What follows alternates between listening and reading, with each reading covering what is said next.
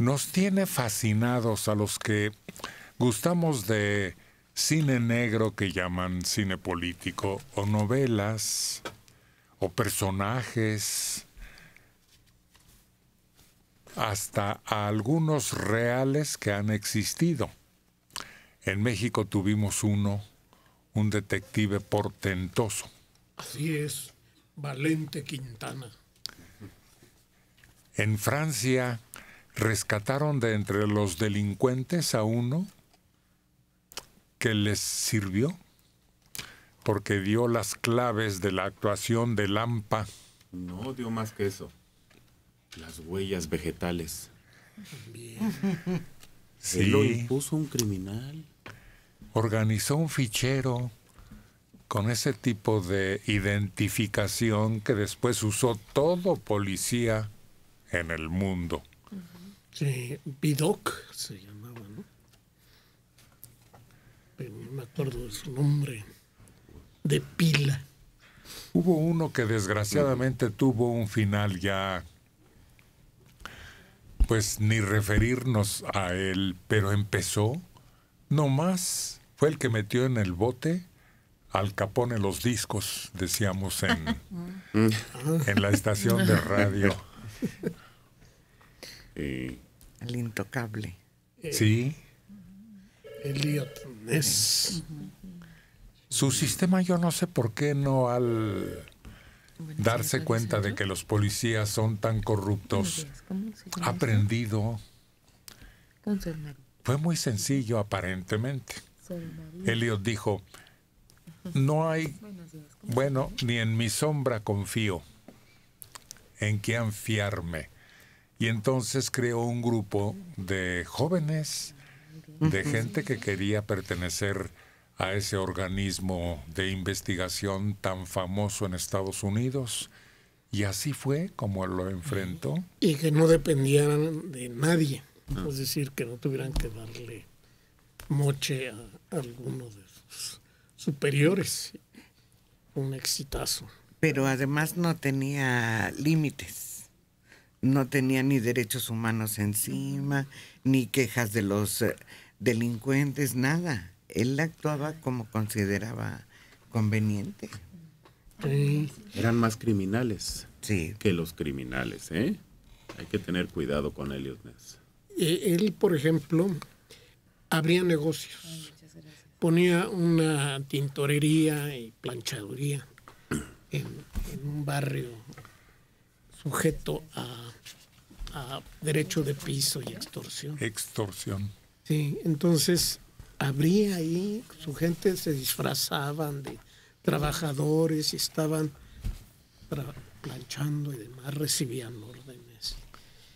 Hasta que un día llega el, A pedirles derecho de el- piso. el extorsionista, Y agarraba el hilo. pácatelas, lo agarran y eh, ¿dónde está tu jefe? Y ya se acababa la mafia. Pues es el policía más distinguido en su acción contra la corrupción que estaba peor que aquí en México. Pues es que controlaban al mero alcalde. Alcalde de Nueva York estaba a las de Chicago estaba a las órdenes de, de Al Capone. y todos los negocios negros en su poder. Pero este asalto escandaloso que acaba de darse, yo lo calificaría más bien como una acción de guerra. No es un robo común. Por la forma en que actuaron, por la cantidad que se llevaron, por el lugar escogido. Está conmocionado el mundo en Paraguay porque 50 pistoleros brasileños y paraguayos protagonizaron el asalto del siglo. Robaron ayer en la madrugada un botín millonario con fusiles y explosivos a una empresa que transportaba caudales dejaron un muerto y varios heridos. Tres de medio centenar de sujetos que perpetraron el acto murieron en un enfrentamiento con la policía brasileña al otro lado de la frontera.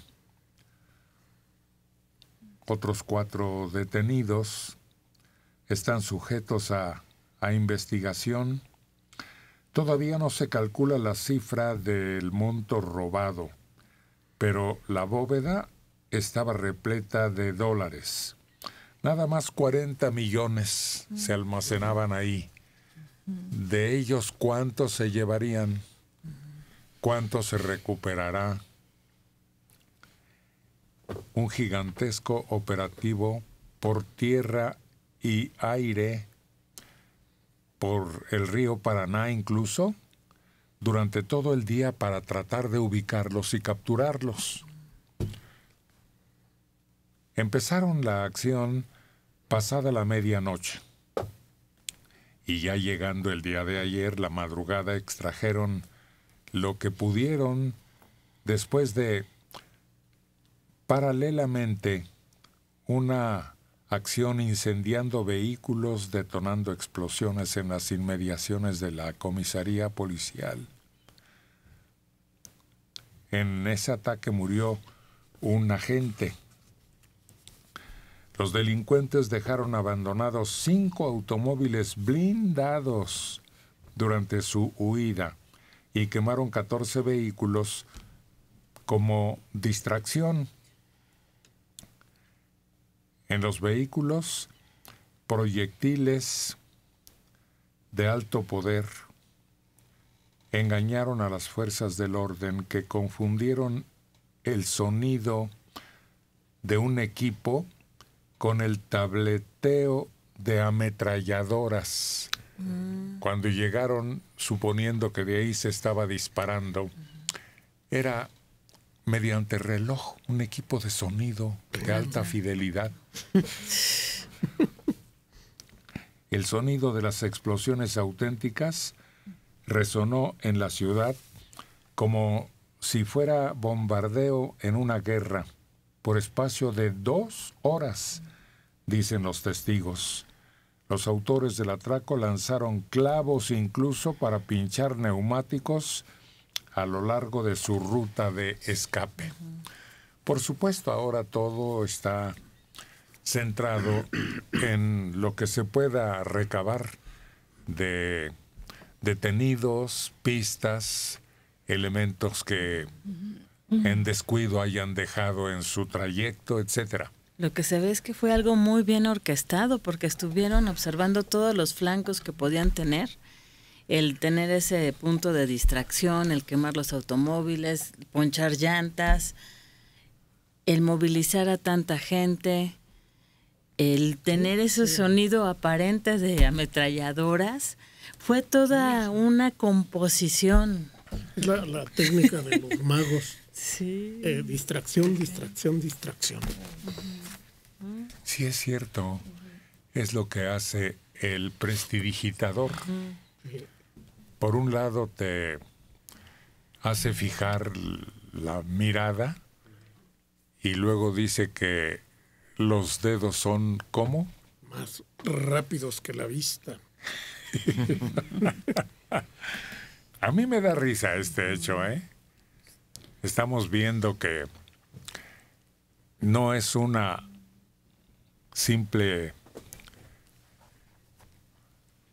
pues acción de lampa, sino algo de más alta graduación.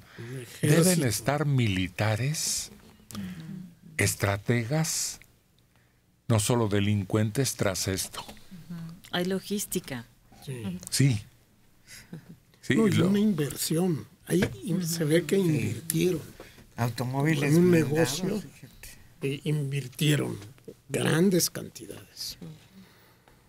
Y todos listos, un reclutamiento. Ayer lo decíamos, difícil el reunir a toda la gente y que nadie soltara prenda. Y hablábamos también de la reacción de la autoridad y si es que interviene el ejército de ambos países porque están muy cercanos. Y luego, la repartición, que también me decía un buscador de tesoros que el momento más peligroso de una excavación, en una investigación, cuando se localizaba algo, era cuando los ojos expresaban el asombro de lo recuperado y la envidia y la desconfianza.